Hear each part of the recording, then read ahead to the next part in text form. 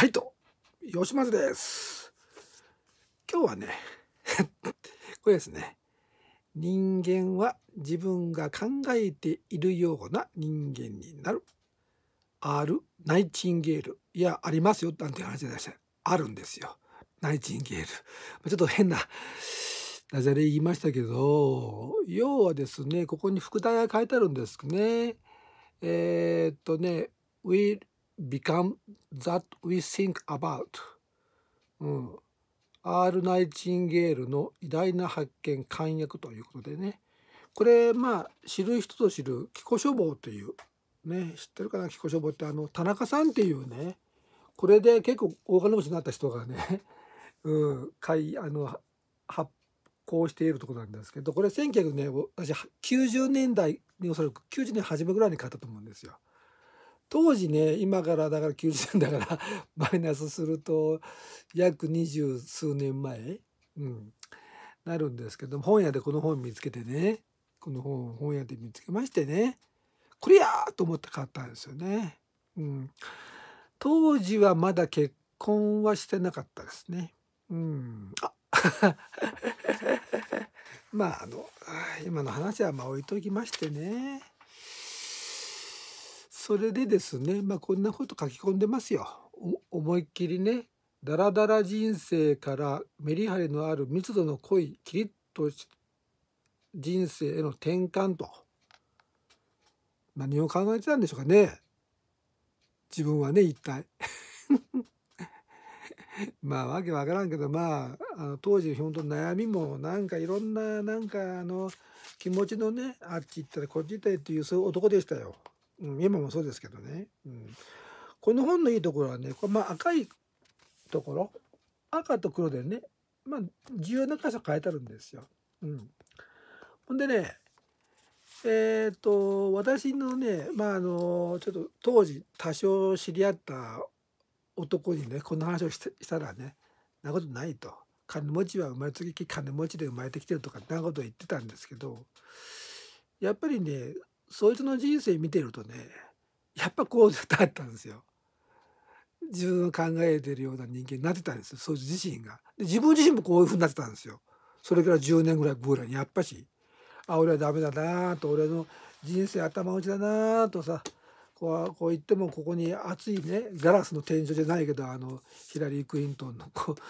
うねクリントンのこんなあってここから先行けないと。ね、なんでなんでって喋ってたんで結局まあやっぱりあんまりいい状態にはならなかったですよ。うん、これ読んでてもねやっぱりね読むということとそれを実際自分のものにしてから実践するっていうのはすごい落差がありますからね。あそれ読んだよその本読んだよ知ってるよっていうのとその本読んだでいろいろ実践してこの本がみんなってここ土台になってまたそこから行ったっていうのは全然違いますからね。うん私はブックレビューなんで読んだということで私の感想を今述べてるのであってこの本を実践できてますよというそういうことではありません実践中ではあります。はい、まあねこれはその通りなんですよ。自分の考えてる通りな人間になるわけですよ。うん、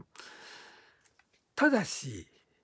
あのこれだけ読んだんではおそらくまあちょっとなっていう感じはしますよね確かにね。うん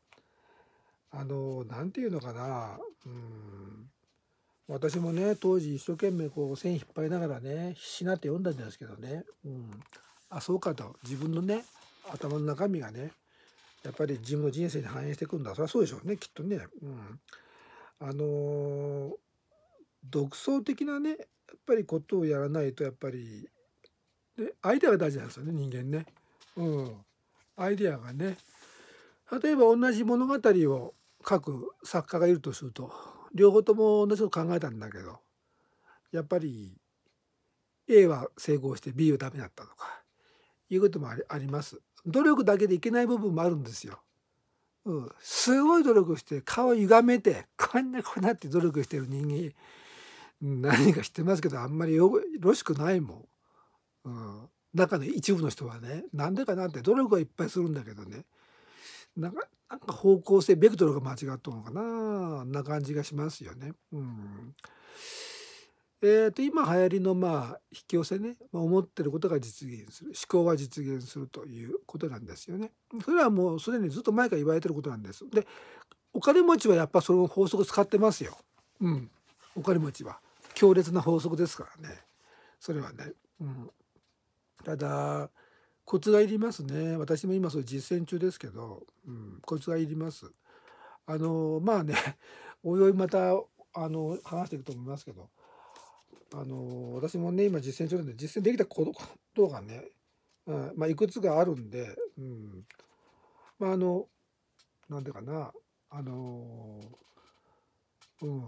まあ一番今の私にとってはやっぱりこういう本が一番いいなとは思ってます。ただこの本だけではできません。はい、まあ、今日はそのことをお伝えしました。また次回ねまた本を紹介しますのでまたよろしくお願いをします。縁のあった方はね、私の紹介の本を読んでください。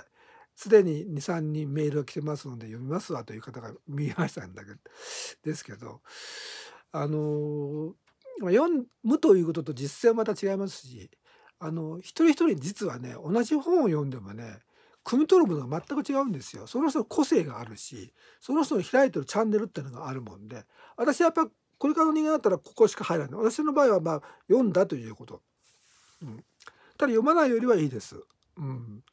あの本当にねやっぱり汲み取るものがねたくさん取れる人は幸せですね。本の冊数も少なくて済むし、うん、ただ私はあの数打ち当たるで思いっきりね冊数だけ増やそうと思って一緒にあのコツコツコツコツやっております。はいではまた次回トラちゃんもそろそろと言っていますので、また次回よろしくお願いします。